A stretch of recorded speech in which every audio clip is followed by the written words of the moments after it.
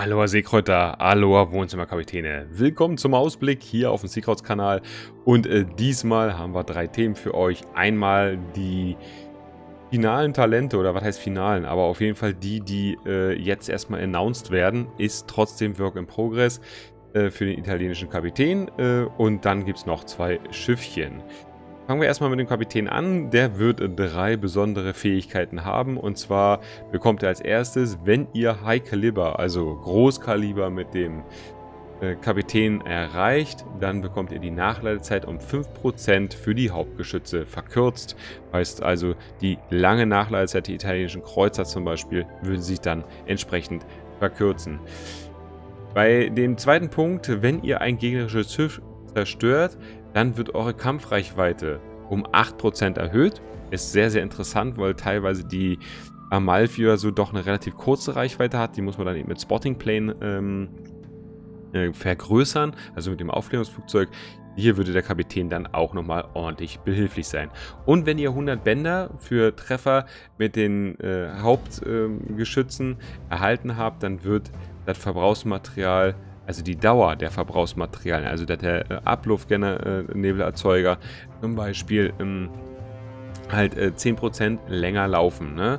Und äh, die letzten beiden genannten, also die Reichweitenerhöhung sowie äh, äh, die Verlängerung der Verbrauchsmaterialien um 10% kann nur ein einziges Mal pro Kampf, also pro Gefecht, äh, droppen. Nicht, dass er, wenn ihr fünf Schiffe zerstört, dann immer äh, 8, 16 und so weiter Prozent sozusagen in Summe dazu erhaltet. Das ist nur ein einziges Mal möglich. Und dann kommen wir zu einem neuen Schiff, welches sich jetzt hier in ja, World of Warships langsam aber sicher in diesen Work-in-Progress-Status, in diesen dass man vielleicht irgendwann mal ausruhen darf und so weiter, ähm, hineinbewegt. Und zwar ja, der ursprüngliche Entwurf oder einer der Entwürfe der Scharnhorst-Variante, Blueprint und so weiter, äh, die Oden quasi einfach ausgedrückt die Scharnhorst auf T8, ja, ähm, kleinkabelige Hauptbatteriewaffen. Es soll relativ schnell nachgeladen werden. Das Schiff hat Torpedos, das Schiff, äh, ja, soll ein toller Kämpfer auf kurze und mittlere Distanz sein, so sagt Wargaming dazu. Äh, Trefferpunkte 62.700 und wir haben 32 mm Panzerung. Das finde ich super faszinierend.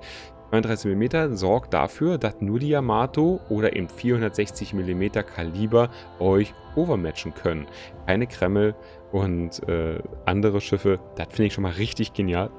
Man hat also eine richtig ähm, einen richtigen Brawler hier. Da haben sie dran gedacht sozusagen. Wir haben drei Türme, A3 Rohre, Kaliber 305 mm. Brand, ähm, Wahrscheinlichkeit 27% mit der HE-Granate 3600 Alpha Damage. Kampfreichweite 19,1 Kilometer, also weitestgehend typisch deutsch, würde ich sagen. Die schießen ja alle nicht so weit. Also, äh, das ist okay. Wir haben 865 Meter die Sekunde, maximaler AP-Schaden 9400 aufgrund des Kalibers. Also, das Kaliber ist ja dann quasi genauso wie bei der Alaska jetzt als Beispiel. Ne? Äh, Finde ich sehr, sehr interessant. 180 Grad Kehre für die Türme sind nur 30 Sekunden, finde ich mega. Äh, maximale Streuung 253 Meter mit einem Sigma von 2.0. Also ein relativ hohes Sigma. Ähm, die hohe horizontale Streuung mit 253 Meter finde ich allerdings für 19,1 Kilometer doch relativ groß. Mal schauen, äh, wie das da in Zukunft aussieht. Und eine Sache habe ich jetzt noch vergessen. Die Nachladezeit der Hauptgeschütze beträgt 20 Sekunden. Ist ein T8-Schiff. Da fehlt der sechste, das sechste Modul. Also das kann er nicht da verkürzen, wenn dann halt nur über einen Adrenalinrausch. Dann geht es weiter, Torpedowerfer. Wir haben an jeder Seite einen Torpedowerfer mit vier Torpedos. Die machen dann 13.700 Alpha Damage, Reichweite 6 Kilometer, 64 Knoten sind die Torpedos schnell. Äh, ja, und sind auf 1,3 Kilometer erkennbar. Sind eh nur Nahkampfverteidigung oder für diejenigen, die sowas mal vergessen.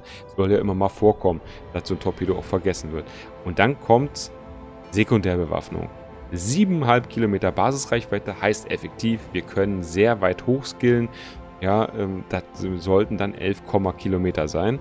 Ähm, wir haben zwei mal drei Rohre, 150 mm, also ein Geschütz vorne, ihr, äh, das seht ihr hier, und ein Geschütz hinten.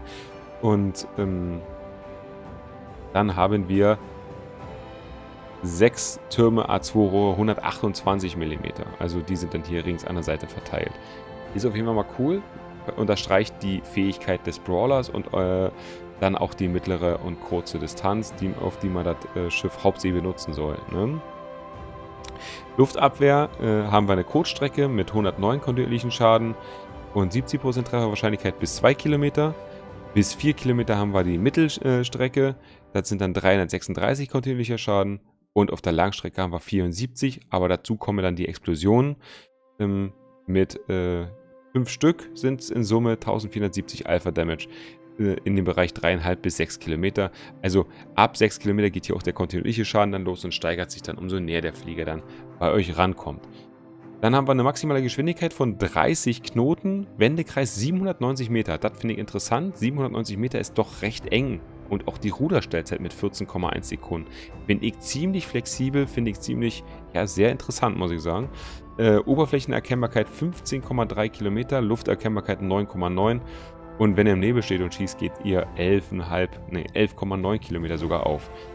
Sehr, äh, sehr zu, äh, zu, zu Kräften des Schiffes tragen dann auch noch die Verbrauchsmaterialien bei. Wir haben das Schadensbegrenzungsteam, in Slot 1 die Reparaturmannschaft, äh, dann in Slot 2, dann haben wir in Slot 3 die, das Kampfflugzeug respektive das Aufklärungsflugzeug, je nachdem, was ihr nutzen möchtet. Das heißt, mit dem Aufklärungsflugzeug kriegt ihr dann natürlich wieder eine große Reichweite drauf, also könnt ihr mehr als 19,1 Kilometer schießen. Und dann haben wir die hydroakustische Suche, eine deutsche hydroakustische Suche. Finde ich sehr, sehr interessant, weil die Scharnos hat das ja zum Beispiel nicht.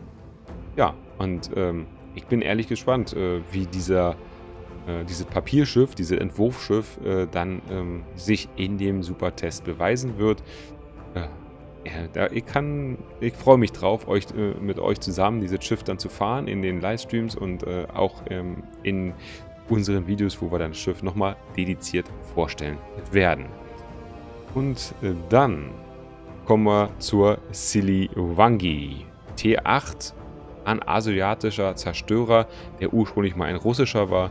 Also werden hier panasiatische Fähigkeiten mit russischen Fähigkeiten gepaart. Äh, so ein bisschen. Wir haben 17.200 Trefferpunkte. 19 mm äh, ist die Grundpanzerung, also typisch für äh, DDs auf dieser Tierstufe. Wir haben nur zwei Geschütztürme, also einen vorne, einen hinten mit zwei Rohren, 130 mm. Wir kommen 13, nee, wir kommen 12,5 Kilometer weit. Der HE-Stern 1900, äh, Brandwahrscheinlichkeit 8%, 870 Meter ist die ähm, AP-Geschwindigkeit und die HE-Geschwindigkeit, also auch da keine Unterschiede, nicht so wie bei den Amerikanern. Dann haben wir, die, dann haben wir 2500 maximalen AP-Schaden, hm, was wird hier noch gesagt? 5 Sekunden Nachladezeit. Okay. Dann haben wir Drehzeit der Türme 18,6 Sekunden, also ganz typisch, überhaupt kein Gun-DD eigentlich. Die Nachladezeit ist auch schon relativ langsam, gibt schnellere auf der Tierstufe. Und dann haben wir eine maximale Streuung von 109 Meter Sigma 2.0. Ausgestattet ist das Schiff dann mit Tiefwassertorpedos, die die Zerstörer nicht treffen können und alle anderen Schiffe dann schon, also Kreuzer, Schlachtschiffe, Flugzeugträger. Ne? Äh, was mit U-Booten ist, wissen wir natürlich nicht. Ähm, wer weiß, wie da die Interaktion sein wird irgendwann mal. Kleiner Scherz am Rande. Ähm, zwei Werfer, A5 Rohre je Werfer haben wir hier. 17.933 Alpha Damage, 10 Kilometer Reichweite, 61 Knoten sind die Tiefwassertorpedos allerdings nur schnell. Alte Ich für ziemlich langsam. Hm, dann haben wir eine Nachladezeit von 131 Sekunden, also über 2 Minuten. Und eine Torpedo-Erkennbarkeit, typisch Tiefwasser, 0,8 Kilometer, also 9, äh, 800 Meter. Meine Güte, ist für mich gerade nach dem Livestream, deswegen bin ich wahrscheinlich noch so ein bisschen durch den Wind. Entschuldigt das bitte. Äh, Flugabwehr Mittelstrecke gibt es da nur 106 äh, kontinuierlicher Schaden. Wir können bis 3,5 Kilometer diese Flugabwehr benutzen. 36,5 Knoten schnell, Wendekreis 660 Meter und wir haben 4 Sekunden Ruderstellzeit. Oberflächenerkennbarkeit 7,6 Kilometer. Können wir dementsprechend herunterskillen mit dem Tarnungsmodul, mit dem Kapitän. Ja, da dürfte dann so 6,6, ähm, ich denke mal so 6,4 oder so was dürfte drin sein. Habe es jetzt nicht genau nachgerechnet. Lufterkennbarkeit 3,4 Kilometer. Ähm, ja, und dann geht es noch weiter. Slot 1 Schadensbegrenzungsteam. In Slot 2 haben wir Nebelwerfer der 30 Sekunden Nebel auswirft und die Nebelwanddauer beträgt dann 70 Sekunden. Äh, dauert dann 150 im Premium-Verbrauchsmaterial 100 Sekunden, bis ihr das äh, Modul wieder benutzen könnt oder das Verbrauchsmaterial. Die hydrakustische Suche, die dieser Dampfer nämlich haben wird, das ist eine, eine ja, was Besonderes, äh, ähm, hat eine Torpedoerfassungsreichweite von 3,75 Kilometer und eine Schiffserfassung von 5,5 Kilometer. Drei Ladungen im Premium-Verbrauchsmaterial, äh, zwei dann halt im Standard und die Nachladezeit Premium 120 Sekunden, in Standardverbrauchsmaterial 180 Sekunden. Alle Werte sind wie immer hier natürlich ähm, ohne Crew- und Upgrade-Modifikatoren, aber mit den äh, ja, bestmöglichen Modulen sozusagen. Es sind ja Premium-Schiffe, von daher gibt es da keine Module zum Erforschen. Ja, und das war schon, was ich euch in diesem Ausblick einmal ein bisschen näher bringen wollte. Äh, lasst mir gerne Kommentare da, was ihr zu den Schiffen denkt. Freut euch drauf. Ähm, was würdet ihr euch vielleicht wünschen für das Schiff? Was äh, geht euch bei dieser ganzen Geschichte durch den Kopf? Einfach runter in die Kommentare und jetzt danke ich für eure Zeit. Und äh, ja, wir sehen uns im nächsten Video oder im nächsten Livestream hier auf dem YouTube-Kanal. Haut rein, euer Seakrauts-Team, euer Andi. Ciao, ciao.